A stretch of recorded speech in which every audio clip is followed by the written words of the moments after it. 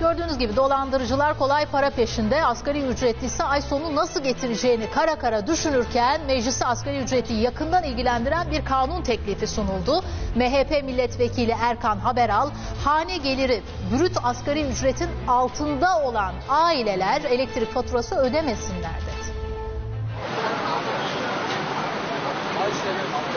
Hane geliri yani aile bireylerinin toplam geliri 2029 liranın altındaysa o aile elektrik faturası ödemesin. Kanun teklifi meclise verildi. Teklifin sahibi MHP'li Erkan Haberal. MHP'li vekil asgari ücretin brüt tutarından yani 2029 liradan daha az gelire sahip olan aileden elektrik ücreti alınmasın dedi. O teklif yasalaşırsa eve giren aylık gelir asgari brüt ücret kadarsa ya da daha azsa elektrik faturası ödenmeyecek. Gelir durumu teklifteki gibi olanların faturaları hazine tarafından karşılanacak. Eğer teklif yasalaşırsa amaç sosyal devletin yoksula sahip çıkması. Peki asgari ücretli ayda ortalama ne kadar elektrik tüketiyor? Enerji Bakanlığı'na göre bir ailenin ortalama tüketimi ayda 200 kilowatt saat. Bu da 2017 için 82 liraydı. Eğer teklif yasalaşırsa hane geliri 2029 liranın altında olanın 90 lirası cebinde kalacak. Bir ailenin açlık ve yoksulluk sınırı altında olduğu devlet tarafından tespit ediliyor